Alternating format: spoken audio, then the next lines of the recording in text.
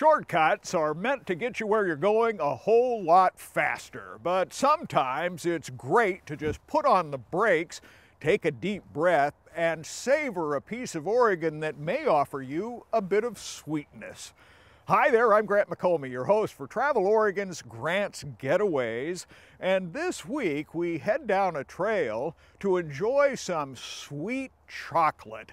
Come along as we visit the Brigittine Monastery Gourmet Confections.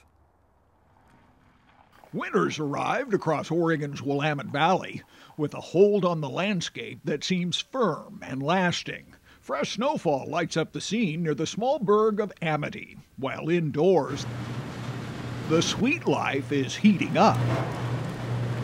In a copper kettle, where milk, sugar, and butter make a thick slurry that reaches 245 degrees. This here will be chocolate fudge with nuts. Right now it's boiling hot, so it's handled with care. That's one type of chocolate, and then the other. Smells good, doesn't it? It always smells great in the kitchen of the Brigittine Monastery Gourmet Confectionery, where a half dozen monks rely on time tested recipes for seven flavors of fudge.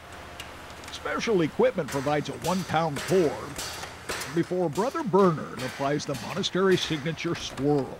That's our trademark. Everything we do is hand swirl. The Brigittines are the only monastic community in Oregon that makes candy, and it is delicious. That's when it's the best. When it's warm, it's good.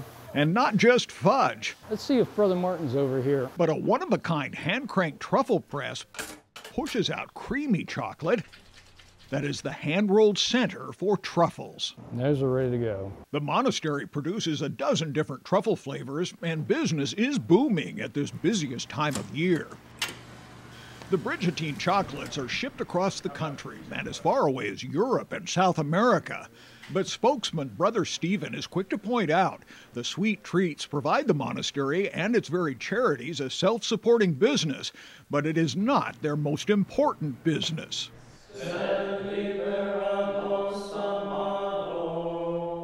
We're in the business of praising God. We're monks. Our life is to be centered around the praise of God. The chapel, the candy store, and the monastery's grounds are open to the public seven days a week. A wonderful place to stop in and sample and perhaps buy at a place where they like to say good addictions can start small. You go out there and you smell this wonderful aroma. And who has given you these gifts? God. That's what I like about the candy. It's you know can be centered on God still and do your work out there.